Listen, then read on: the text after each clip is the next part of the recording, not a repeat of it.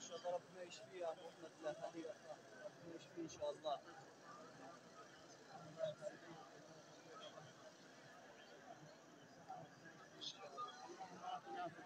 امين